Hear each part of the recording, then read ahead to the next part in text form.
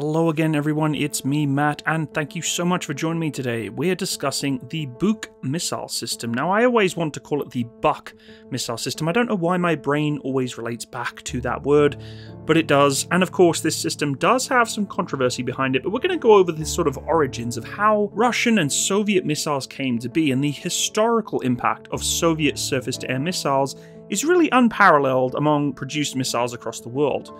Initially designed as a defense against American bomber fleets in the early Cold War, they played a pivotal role in altering events such as the downing of the American U 2 reconnaissance aircraft over Russia and Cuba. These missiles supplied by the Soviets accounted for the destruction of around 100 American aircraft after, you know, the Vietnam War and significantly shaped the terms of air battles of today. In 1973, a new generation of missile proved to be a technological surprise, inflicting considerable damage on Israeli aircraft. Even today, Russian surface surface to air missiles are a primary defense against American bombers for many countries, and man portable anti aircraft missiles from Russia pose a significant threat in the realm of even terrorist attacks. Before the fall of the Soviet Union, public knowledge of Russian missiles was actually quite limited to the designations assigned by Western military sources and, of course, names.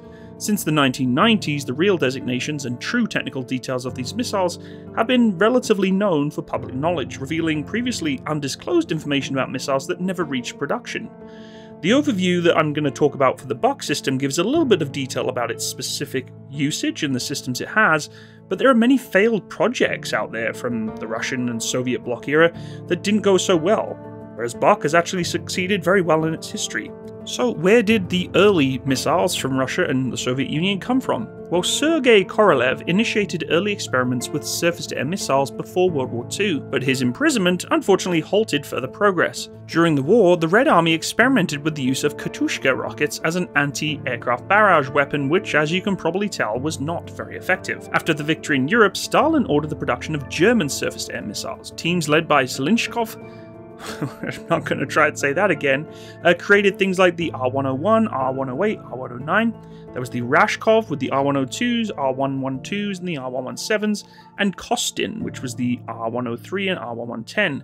And of course, there was lots of different developments of liquid engine technology from the German originals. Within four years, missiles were in flight testing, but it was discovered that the Germans had not solved the guidance problem. Stalin then ordered his secret police chief, Beria, to conduct a ruthless crash program to address the defense of Moscow against American bombers. Beria's son, in an existing missile design bureau headed by Kolchensko, uh, actually set up massive priorities to be established, and Russian and German engineer prisoners were actually exploited to do so. The KB-1 Bureau developed the S-25 air defense system in record time. By 1953, two years from the start, tests were being conducted against crude copies of B-29 bombers, and operational sites around Moscow had been established.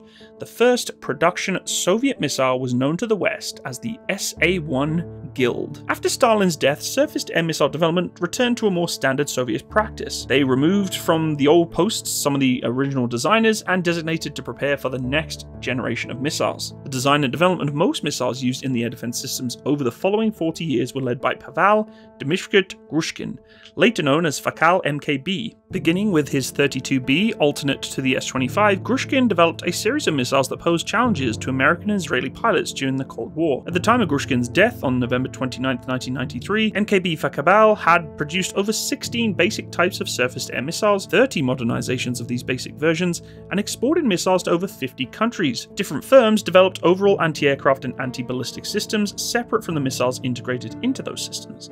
This meant that the air defense systems developed by different bureaus could use the same missile. For the development of man portable and small vehicle mounted air defense systems, though, traditional Army integrators entered the missile development system in the 1960s, and it was almost like a free for all. But the one missile system that has always peaked in controversy and in intrigue in the modern anti aircraft world is that of the Buk Mobile Radar Guided Surface to Air Missile or SAM missile system with four main components acquisition and targeting radar, command element, missile launcher, and logistic element, all mounted on tracked vehicles.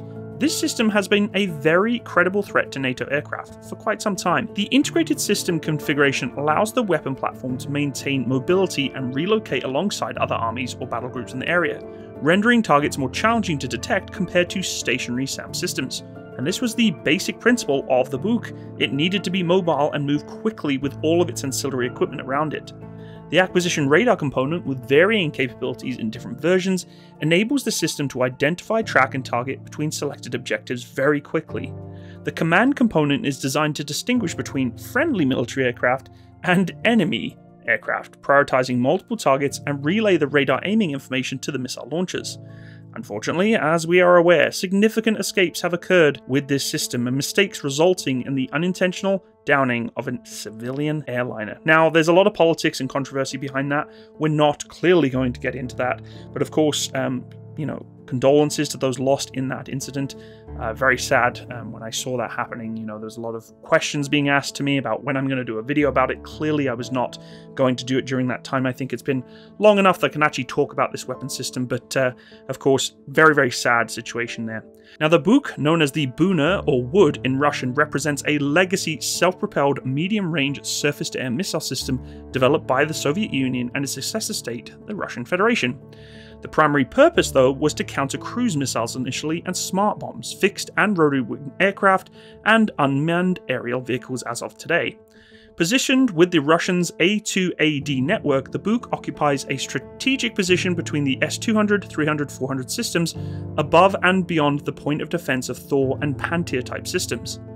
A standard Buk battalion comprises of a command vehicle, a target acquisition radar or a TAR, and six other vehicles, specifically a transporter erector launcher, a radar, known as the TELAR, and three transporter erector launchers or TEL vehicles. The Buk missile battery consists of two TELARs, each carrying four missiles, and one TELAR vehicle or TLR vehicle, accommodating a total of six missiles to complete the arsenal of 14 missiles in total. The Buk system succeeds the NIIP Vympel 2K12 Kubo, or NATO reporting designation as the SA 6 Gainful. The initial version designated the 9K37 Buk was known as the West as the Gadfly, with the US Department of Defense DoD assigning the designation SA11. Subsequent versions of the Buk of the M12 and the Buk M2 received the new NATO reporting designation as Grizzly and the DoD designation as SA17. The latest iteration of the Buk M3 has been in production since 2013 and is currently in active service designated as the SA27. Early Buk systems utilized a day radar tracking system, the 9SH38, similar to those in the Kub, the Tor, and the OSA missile systems. However, modern designs have integrated thermal cameras with laser rangefinders for optical tracking, allowing for passive tracking. The 9K37 system can use the same 1S91 Straight Flush continuous wave radar as the 3M9 Kub system. The original Buk Telar 9S35 radar employs mechanical scanning of the Cassegrain antenna reflector, while the Buk M2 Telar design uses the PSSA for tracking and missile guidance. The 9K37 utilizes the 9S18 tube arm or the 9S18M1 NATO reporting designation as Snowdrift as a target acquisition radar in combination with the 9S35 or 9S35M1 Fire Dome. The Snowdrift target acquisition radar has a maximum detection range of about 85 kilometers or 53 miles, allowing it to detect aircraft flying at 100 meters or 330 feet from 35 kilometers or 22 miles away. The TEL loading vehicle for the Buk artillery is similar to the Telar but is equipped with a crane for loading missiles instead of a radar. While it can fire missiles directly, it requires the cooperation of a fire dome equipped Telar to guide the missiles. The reloading vehicle can transfer the missile to the Telar in about 13 minutes and reload to a store in again another 15 minutes. Additionally, the Buk M2 introduced a new vehicle similar to the Telar, but with a radar mounted on a telescopic lift and no missiles, named the Target Acquisition Radar TAR 9S36. This vehicle can be used with two TEL 9A316s to engage up to four targets and guide missiles into woodlands and hills that have undulating terrain, which is, of course, very critical across the Cold War era of missile platforms because they wanted to utilize the ground without having to, you know, I guess, obscure your vehicle in the woodline and in the hills and in a flat open prairie. The OG Buk M1 or Buk M12 missile system employs a computer information system that records all crew actions in a quote black box allowing for an objective assessment of crew actions and results. All vehicles in the systems use argon gas.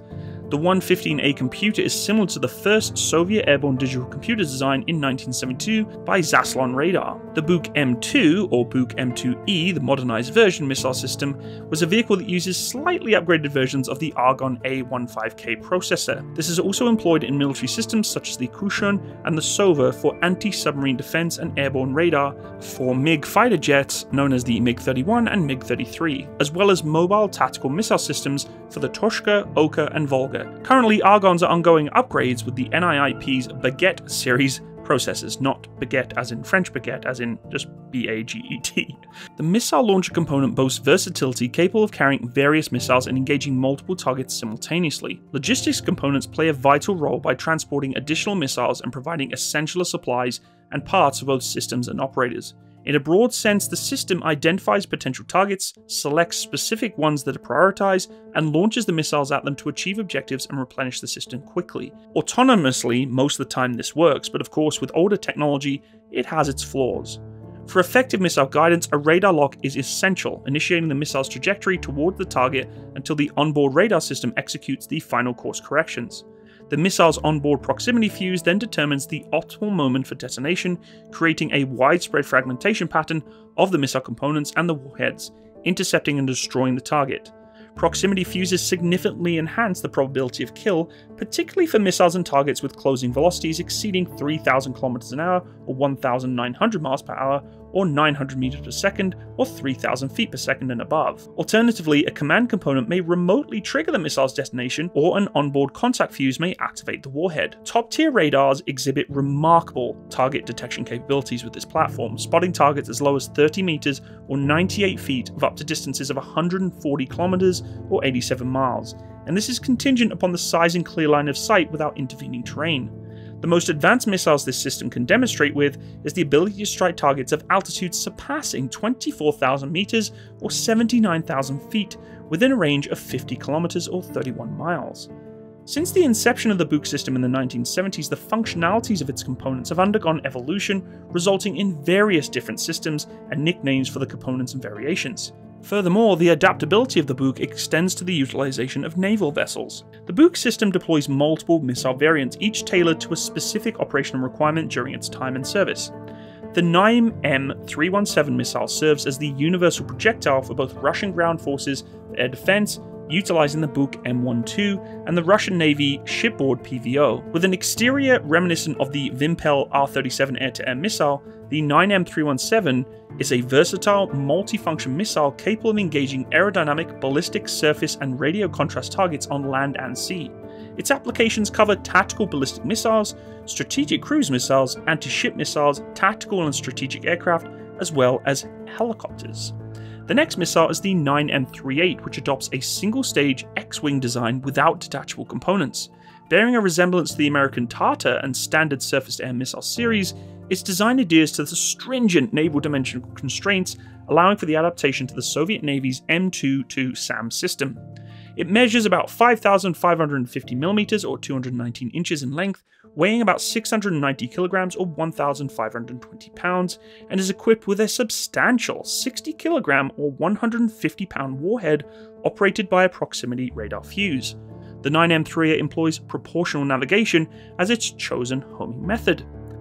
Modern versions in development include the 9M317M and the 9M317ME, an active radar homing missiles, the primary developer is the NIIP, and they've reported successful testing of these missiles in 2005 and have implemented them significantly through time.